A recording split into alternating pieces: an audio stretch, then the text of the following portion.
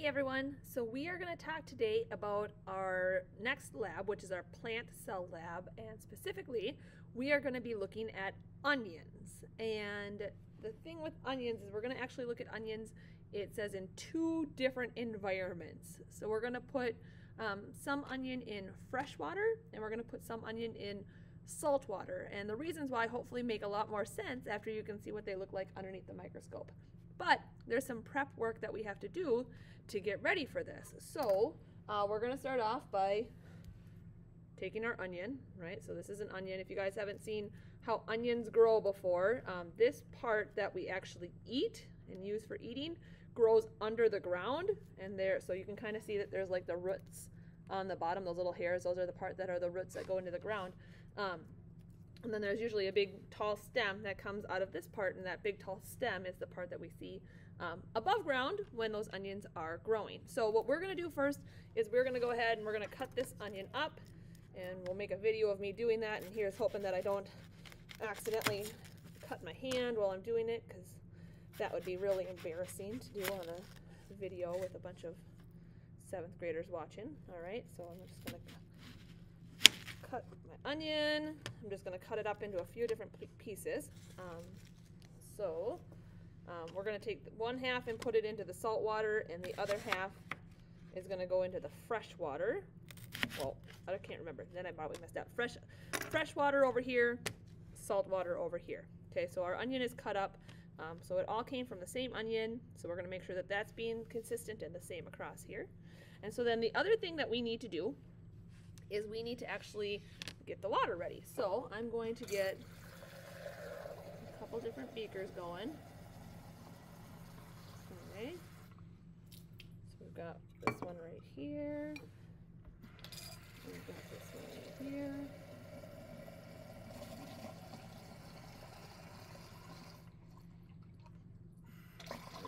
make it a little more even. All right, so we have our two beakers that we have going on right here. Mm-hmm. Um, and we're gonna put salt in one of them. So I'm just gonna take like normal salt that you would use in, in your kitchen. And I'm gonna pour, oh, it's all clumpy. Shake, shake, shake it first. And then we're gonna pour a whole bunch of salt in here. Tons and tons of salt. It's coming out, lots and lots of salt. We want there to be lots of salt. It's gonna be really salty, salty like the ocean. Lots of salt in there. Okay, so now that we have some salt in there, stir it up a little bit as well. Really make sure it's all getting dissolved in the water. Then I'm gonna go ahead and I'm gonna take some of my onions. I'm gonna take my, my half of the onion over here. I'm gonna put it in the salt water. I'm gonna kind of break around. Well, weird, so the video cut out before. So what I did, what I finished up, you guys saw me kind of put the salt in the water and cut up the onion. So the, all I did then was I took half of the onion and put it in this container with the salt water and the other half of the onion is in this container with the fresh water. So we're gonna go ahead and let those sit for about 20 minutes. And after those 20 minutes, we're going to go ahead and get our microscope slides ready to see what those cells look like.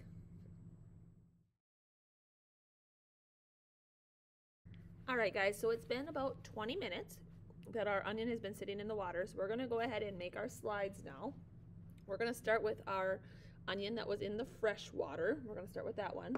Um, so we'll just take a piece of that onion out. And the reason that we use onions for this lab is it's really easy and convenient to get some of the cells from this onion. So um, if you've ever had onion rings and had that kind of stringy part when you try to take a bite, that stringy part, that kind of skin on the inside of the onion is what we're going to use to look at these onion cells. And so the reason it works so well is that onion skin piece is so nice and thin that we can usually get it so that it's just one cell thick on our microscope slide. So I'm just placing that uh, onion skin on that microscope and kind of spreading it out, flattening it out a little bit trying to get rid of some of the, the air bubbles that are stuck on there because we want to make sure that we're looking at cells and, and not air bubbles.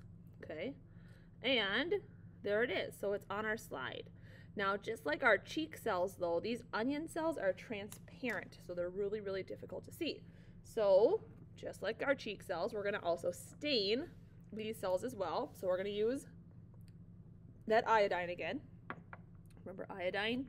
We just use it as a stain. That's the only thing it's doing is it's coloring or kind of, you know, like painting these cells so that we can see them a little more clearly underneath the microscope. So I just put some of that iodine on here. We'll put a cover slip on there again just to make it nice and easy to see what's going on. All right, and there we go. I've got my onion cell freshwater slide ready to go ahead and, and find some cells. So I'm gonna follow the same process with the salt water onion cells um, to go ahead and find uh, the difference between those two.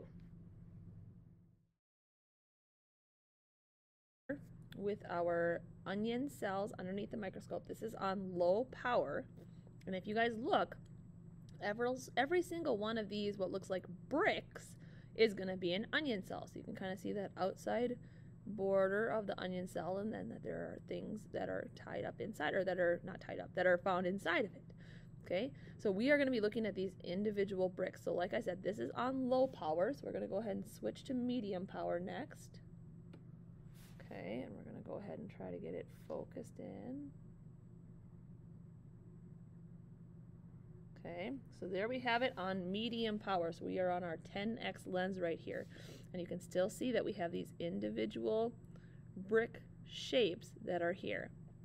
And this medium power is where we're going to look at our cells and we're really going to make some observations about the similarities and differences between onion cells in freshwater and onion cells in salt water.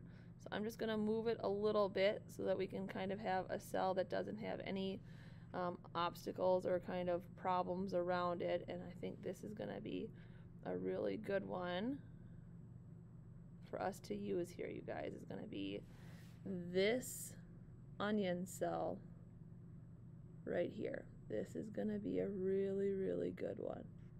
All right.